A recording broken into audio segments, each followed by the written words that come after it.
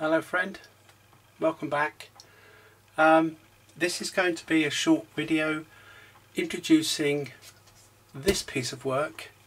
Um, it's a big canvas as far as sort of I go. It's the it was one of the first well it is the first big canvas I've done. Um, in mixed media. I've done a, a larger canvas in oils, um, copying somebody else's work, a pastiche if you like. Um, but it'd be interesting to to get any opinions on this if you if you want to. I'll I'll hold it back and you can have a look at it and I'll explain it to you, um, and then we'll take it from there. Okay, okay. So I need to hold it back here and get it into some sort of wait. If I put it on there maybe, can you see that then? Let's bring you round. Okay, you sort of see the whole thing in there. Okay, now this is um, this is called Escape. Okay, and I'll tell you for why shortly.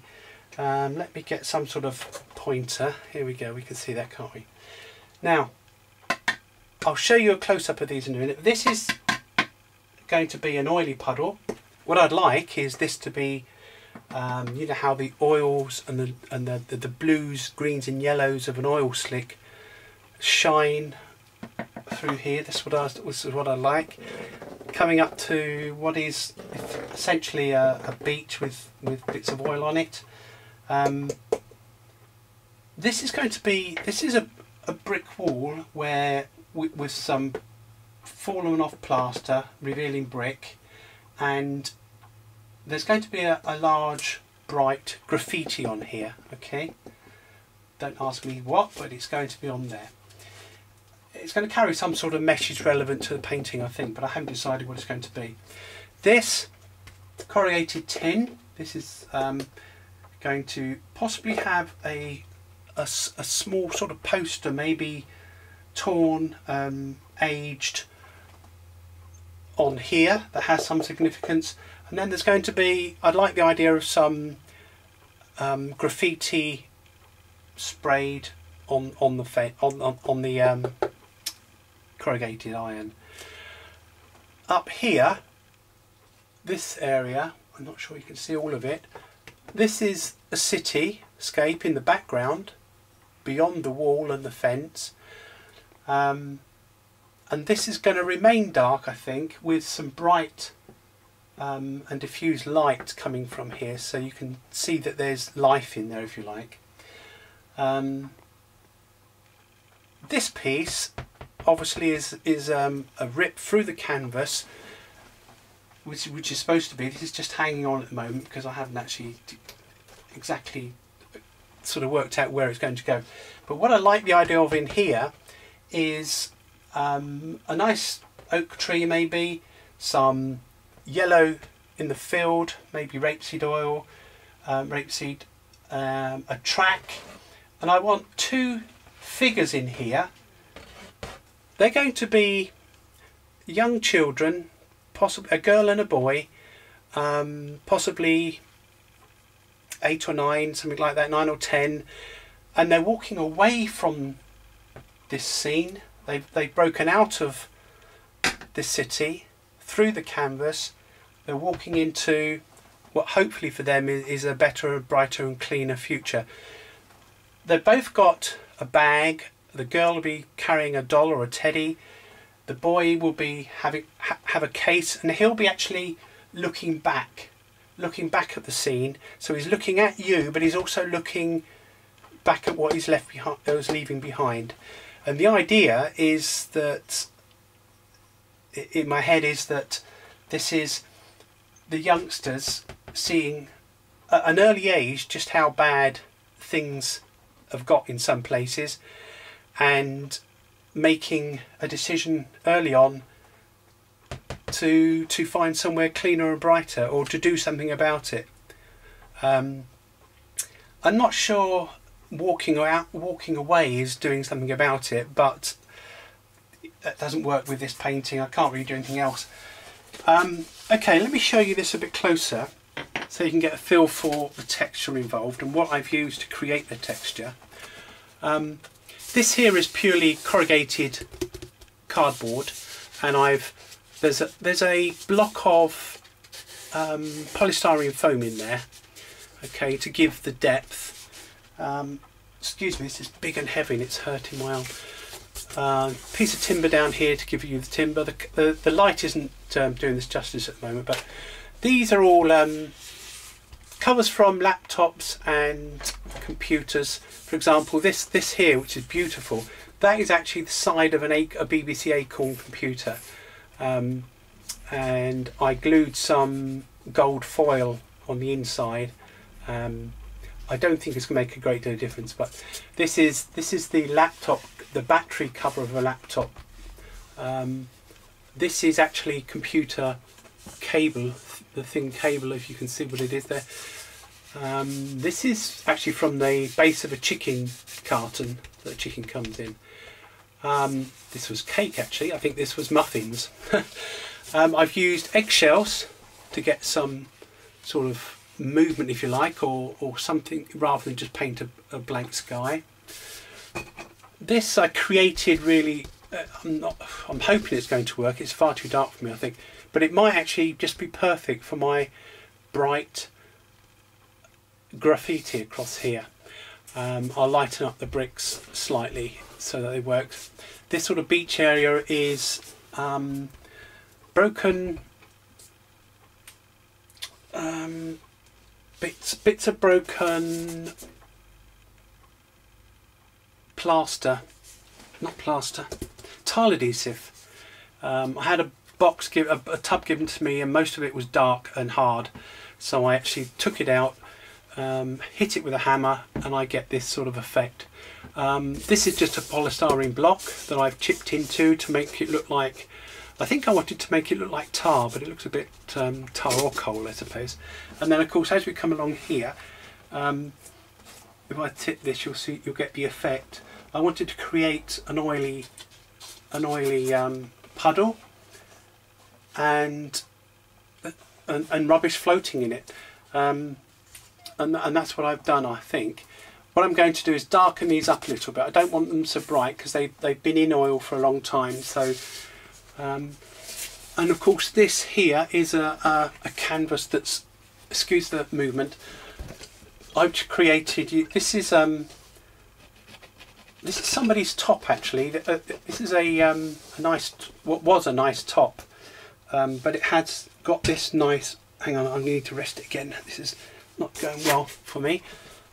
I'll tell you what, let me move it over here like this. There we go. I can rest it then. Right, okay, that's better. Um, yeah, this was a nice top, um, and it has this nice sort of canvas effect um, on the inside of it. So I've, I've just cut a hole into it and created what I think is a, um, a burst from the canvas. Um, and this is just purely acrylic paint laid down to give me a, a feel for what I'm going to be doing. Um, and I and I love the fact that there's a horizon in this picture. It's it's almost like a new horizon, if you like. Um, it's quite a. I didn't set out to create a pick an image or a canvas, shall I say, with a strong message, but it's just turned out that way. I didn't actually plan to, to have this burst when I first started this. Um, and in fact, I, I do remember now that I was thinking about, when I thought about the burst, I was thinking about this, putting a city in here uh, and the clean country outside. So I, I, could actually do that, couldn't I? I could reverse this whole concept. Um, and so that they have actually then left, they've now left here, and in the second canvas, that would be this city, and this would be the new um, new canvas. That's a, that's a nice idea. I quite like that idea. They would um, they would go as a pair then, wouldn't they? I don't know whether pairs of paintings are good, like vases, I don't know.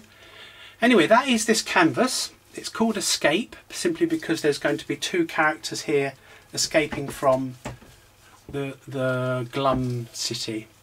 Um, I got a lot of hope for this. I think it's actually come on much more than I haven't actually seen it for a long time because I, I sort of painted it all some time ago now. Um, and then I got really trapped in this. Whenever I picked it up, I could see the wrong colours everywhere. But um, I'm beginning to see after time that it actually doesn't look too bad, I don't think. Uh, and if I actually introduce some blue, this nice sort of electric blue with some yellow swirling in here, um, then there's going, obviously going to be a, a sort of a bright colour here with the graffiti. And then there's going to be some light colour here with the graffiti tags and some sort of poster. Um, and then of course I'll add the odd light in the background there. So I think it could work quite nicely but I'll keep you up to date with this one guys. Let me put it down. It weighs a ton. Well it doesn't weigh a ton. It's just I've got a weak arm.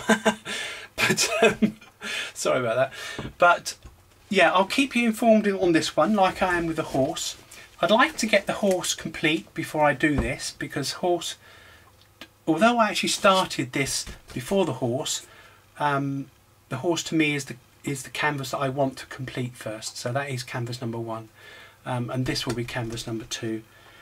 Um, and we'll see where it goes. I haven't, I couldn't imagine who would buy something like this, but um, it's not why I'm creating it really. Although I did set out to be an artist to possibly help fund um, my bank account, which is rather um, slim, shall we say. Um, now I'm actually into it. I I'm not doing it for the money. If that sounds stupid, it, it, I'm just absolutely. I've um, so many things have happened in this last week where I've been looking at art. Now that I've finished the, the studio um, and I'm in here, I now am enjoying the studio, if you like, and it's opening up all sorts of um, new thoughts. And I'm, I'm, taking photos of everything. Believe it or not, I took a photo before I got out of bed this morning because I saw the curtains against the wall in a certain um, a certain way that looked like some form of landscape. So I took a photo and then got out of bed.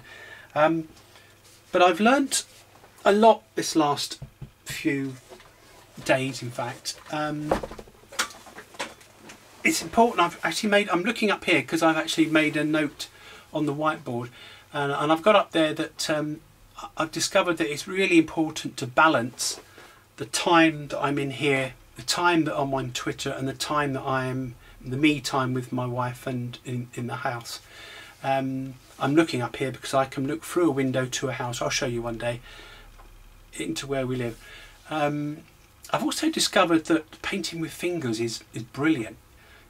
I've always wondered how you can blend acrylics. They don't blend very easily, I found, but a great way of doing it is, is with your fingers and then wipe off a bit more, bit more, wipe off. Um, when I say wipe off with a wet, or not a wet, um, a dryish cloth, a dampish cloth, just to to take some of the colour off while you're blending. Um, I've discovered that I do have trouble, I think in my mind, maybe not in reality, of balancing colours. Um, whether that's something I'll get you, I'll, I'll, i hope I get used to it because I, I bought one of these things. It's a um, a colour mixing chart, which is pretty useful because um, you start with uh, the main colour and then the mixing colour, and then of course you get the colour. So I can hold anything against this chart, but of course it does mean that you've got to have all these colours to be able to mix it. And at the moment I've only been able to afford about um, that many colours, but that will come. Um, yeah, what else have I learned? I've learned that it's very easy to ruin good brushes.